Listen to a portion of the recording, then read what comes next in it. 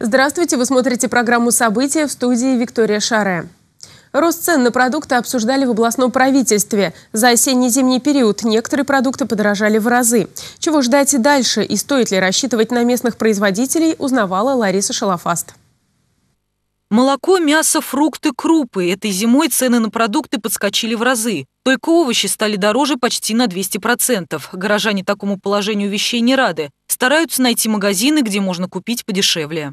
Про качество молчим, лишь бы не перевели нас на, на талонное обслуживание. Очень дорого, людям невыносимо жить.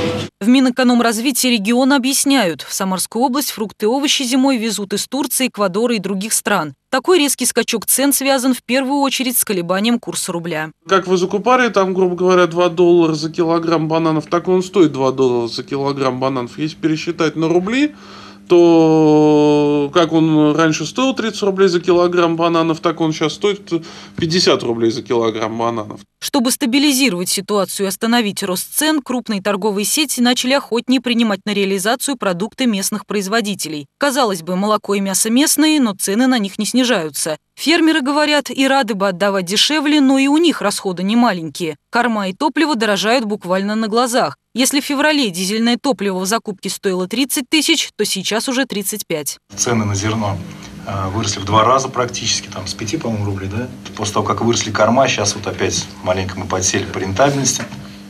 А, тут еще сказывается сезонный спад поэтому где-то возле пока себестоимости крутимся. Чтобы сделать продукты питания более доступными, в Самарской области по поручению губернатора Николая Меркушкина регулярно проводятся сельскохозяйственные ярмарки, где люди могут сделать запасы по достаточно демократичным ценам. Сейчас цены на продукты стабилизировались, дефицита в области нет. Молока, хлеба, мяса и овощей хватит на всех. В Министерстве сельского хозяйства Российской Федерации была защищена регионально значимая экономическая программа развития мясного скотоводства мы дополнительно получим 40 миллионов рублей на эти цели из федерального бюджета. Долгосрочные прогнозы эксперты делать не берутся. Мониторинг цен Министерство экономического развития области проводит каждую неделю. Резкого подорожания не обещают, но и ощутимого снижения цен в ближайшее время ждать не стоит. Лариса Шлафас, Дмитрий Мешканцов. События.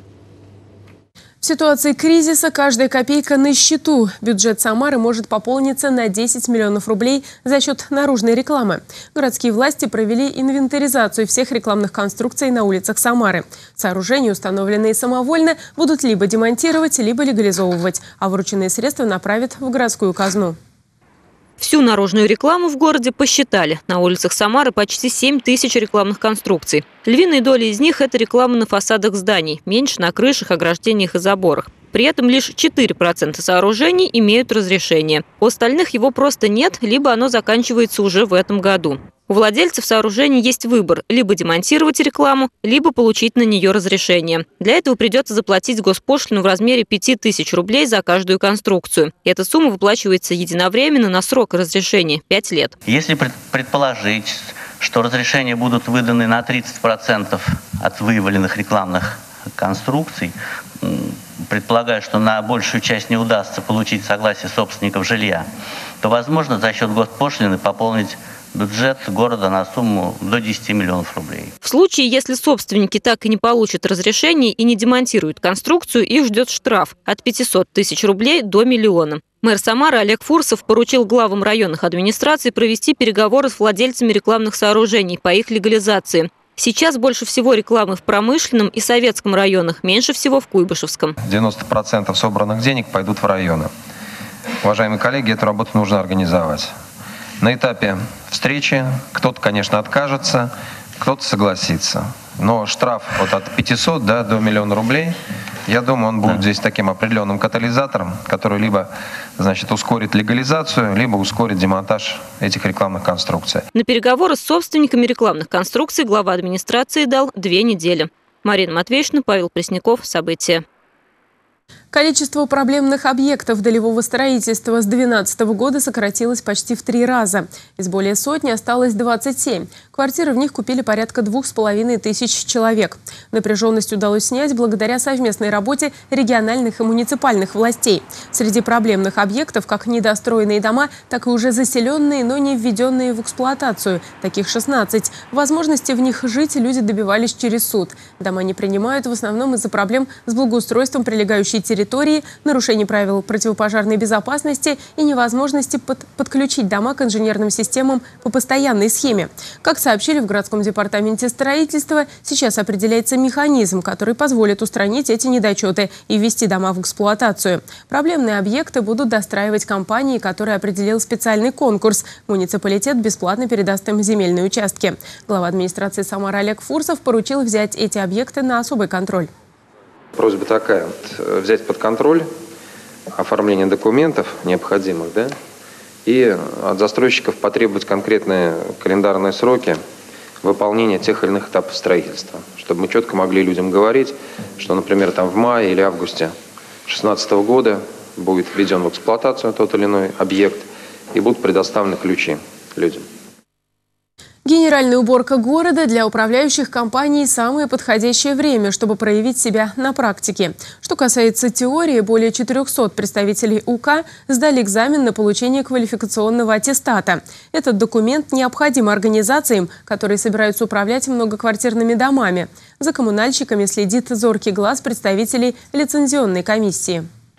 Право управлять многоквартирными домами теперь нужно заслужить. В Самаре представители и руководители управляющих компаний сдают экзамены в лицензионной комиссии. Своего рода аттестат зрелости с этого года коммунальщикам необходим. Это одно из условий получения лицензии, наличие которой дает право работать на рынке ЖКХ. Лицензию можно получить на территории одного субъекта федерации и работать только в этом субъекте федерации.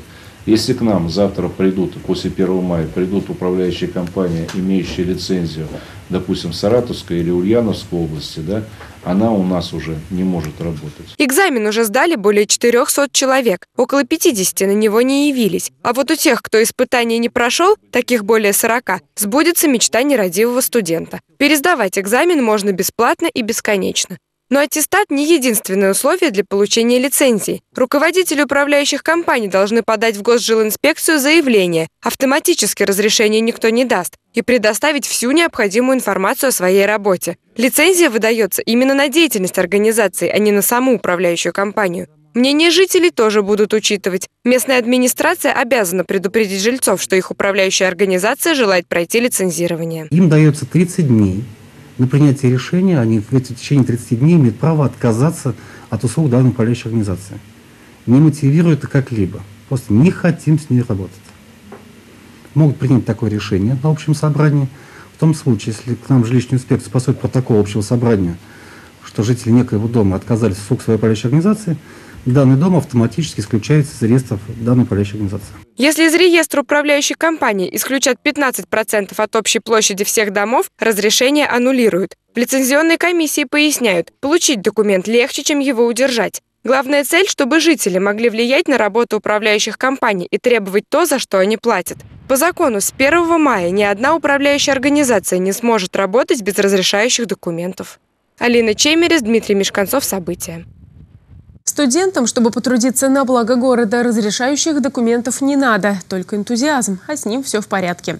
Студенты университета водного транспорта взялись за лопаты и очистили от снега территорию, расположенного по соседству детского сада в Самарском районе. Участие в большой уборке, начавшейся в Самаре раньше обычного, будущие моряки восприняли как дело чести.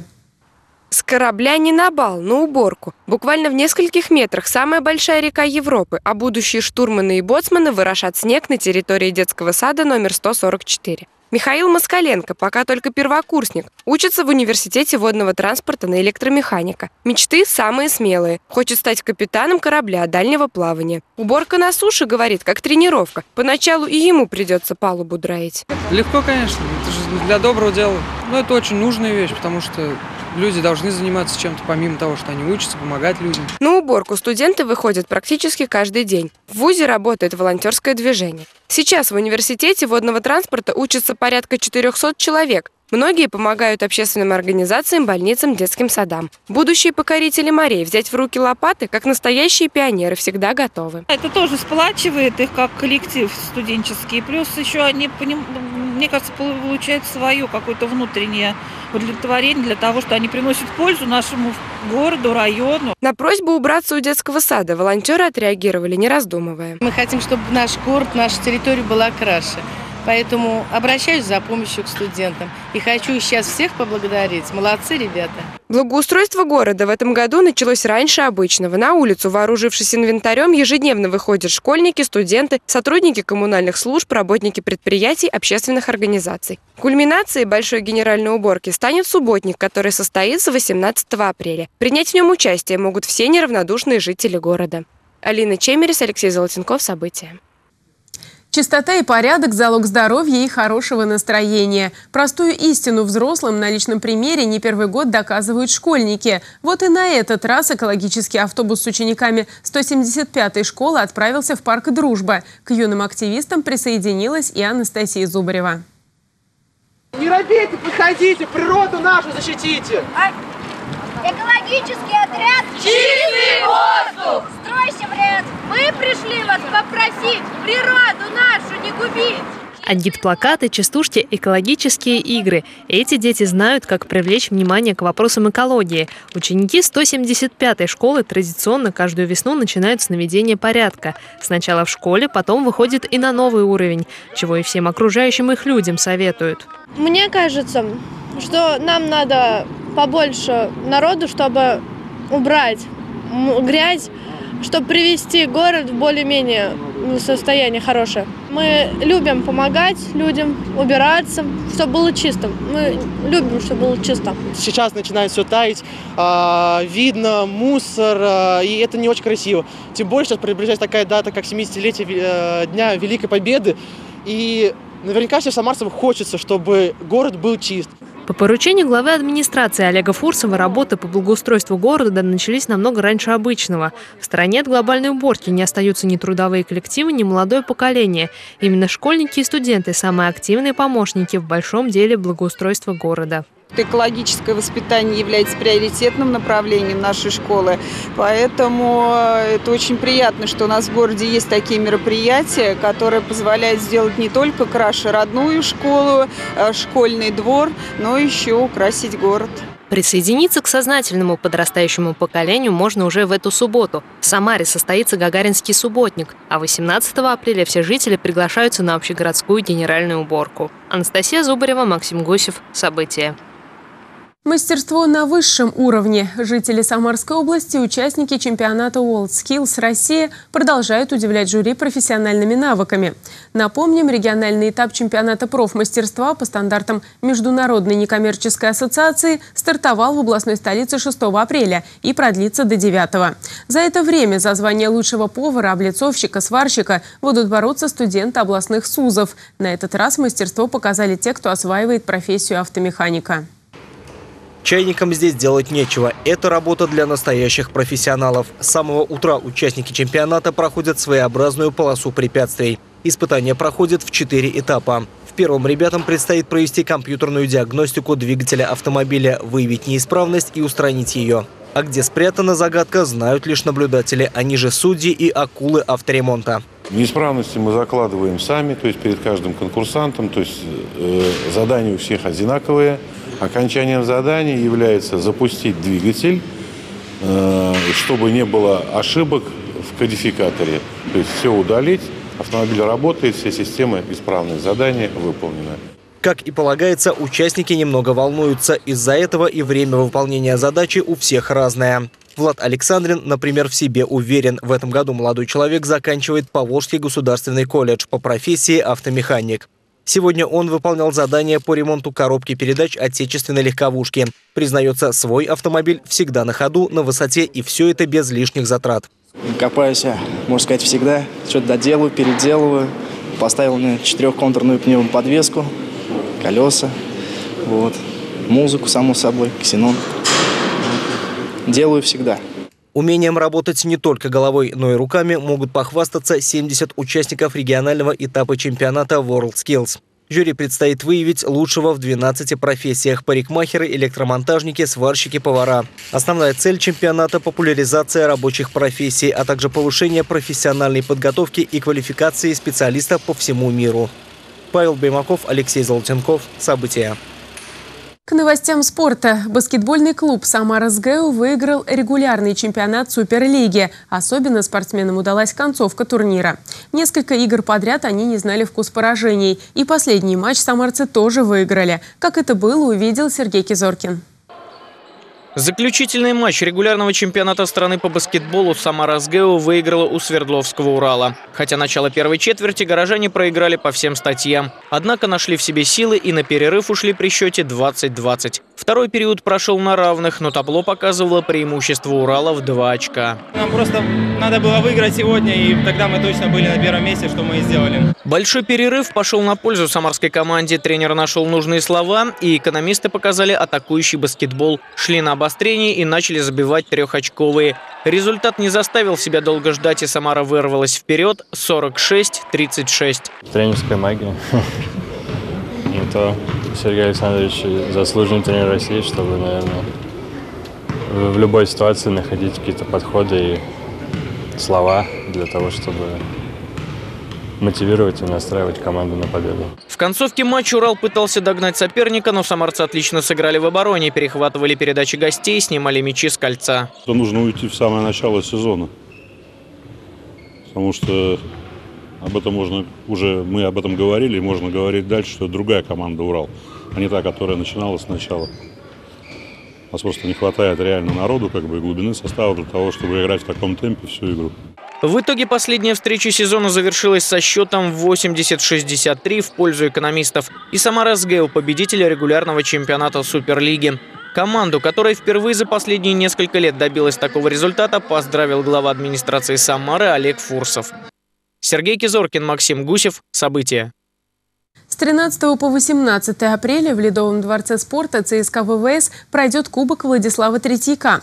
Турнир проводится с 2008 года. Он один из массовых в стране детских турниров по хоккею с шайбой. Сразиться на льду в губернию приедут воспитанники детско-юношеских хоккейных школ ведущих российских клубов, выступающих в континентальной хоккейной лиге. В рамках соревнований будет проведено 20 игр, а также мастер-класс хоккейной команды ЦСКА ВВС для юных спортсменов. Мероприятие организовано администрацией администрации Самары, Федерации хоккея России при поддержке Министерства спорта Самарской области.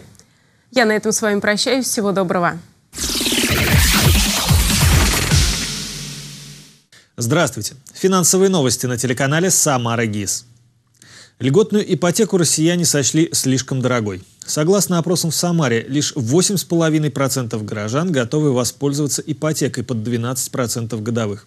50% опрошенных считают ставку слишком высокой. Согласно опросу, каждый восьмой горожанин уже выплачивает ипотеку, а каждый шестой не испытывает потребности в кредите на покупку жилья. Просрочка по кредитам физических лиц в первом квартале 2015 года резко увеличилась. Объем просроченных долгов с начала года по 31 марта вырос на 13,4% до 755 миллиардов рублей. Сейчас каждый пятый россиянин имеет проблемный кредит. При этом к концу года ожидается наличие такого кредита у каждого третьего. Согласно данным опроса, 38% россиян с проблемной задолженностью испытывают затруднения в погашении долга из-за резкого ухудшения материального положения. Год назад такую причину озвучивали только 20% человек, а в 2012 году лишь 10%. Еще 20% не могут платить по кредиту из-за потери работы. Правительству надо бы мораторий на выплаты наложить месяца на два. Поездки россиян за рубеж на майские праздники в этом году сократятся на 25%. Однако еще три месяца назад туроператоры прогнозировали падение турпотока вдвое. Россияне выбирают страны с недорогим авиаперелетом, например, Израиль или Чехию. Однако большинство решило провести весенние каникулы дома. Спрос на внутренние направления вырос на 15%. О снижении зарубежной туристической активности россиян свидетельствуют и данные Росавиации. Общий пассажиропоток снизился на 1,3% по сравнению с первыми двумя месяцами 2014 года. Произошло это в первую очередь за счет международных направлений. Российский фондовый рынок открылся снижением. Индекс ММВБ в минусе на отметке 1697 пунктов. В аутсайдерах ТМК, АФК Система, Лукойл, Мичел, Новотек и Полиметалл. Среди лидеров роста Яндекс, НЛ Россия, Магнит, КАМАЗ и Акрон. К открытию торгов в России сложился нейтральный внешний фон. Американские индексы завершили торговый день в плюсе.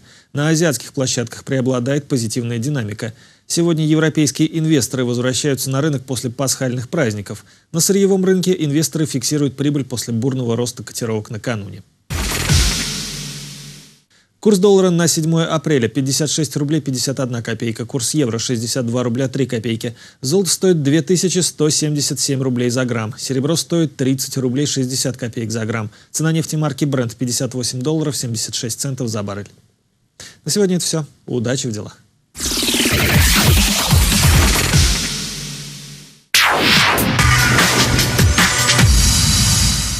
Здравствуйте, с вами Сергей Кизоркин, и значит вы смотрите «Самарские новости спорта». Самарченко придумала хоккейный талисман к чемпионату мира 2016 года. Самарцы выиграли международную велогонку Туркубани. Баскетбольные экономисты выиграли регулярный чемпионат Суперлиги. Заключительный матч регулярного чемпионата страны по баскетболу Самара СГУ выиграла у Свердловского Урала. Хотя начало первой четверти горожане проиграли по всем статьям, однако нашли в себе силы и на перерыв ушли при счете 20-20. Второй период прошел на равных, но табло показывало преимущество Урала в 2 очка. Большой перерыв пошел на пользу самарской команде. Тренер нашел нужные слова, и экономисты показали атакующий баскетбол. Результат не заставил себя долго ждать, и Самара вырвалась вперед 46-36. В концовке матча Урал пытался догнать соперника, но самарцы отлично сыграли в обороне. В итоге последняя встреча сезона завершилась со счетом 80-63 в пользу экономистов. И Самара СГУ победитель регулярного чемпионата Суперлиги.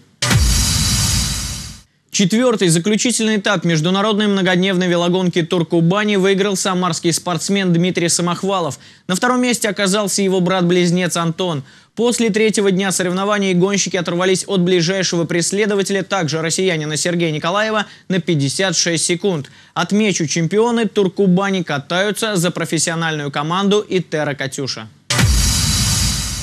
Наталья Петухова вошла в четверку финалистов конкурса «Идей талисмана» чемпионата мира по хоккею. Турнир пройдет в 2016 году в Москве и Санкт-Петербурге. Жюри оценило 20 конкурсных работ. Топ определился после интернет-голосования. Теперь экспертам предстоит сделать сложный выбор между лайкой Байкала Натальи Петуховой из Самары, русским богатырем Анастасией Волокжаниной из Архангельска, самоваром Булата Юнусова из Татарстана и котом-матросом Филиппа Чалова из Москвы. Победителя конкурса «Талисмана» определит Федерация хоккея России и Международная федерация хоккея. Это были новости спорта от Сергея Кизоркина. Будьте здоровы и занимайтесь физкультурой.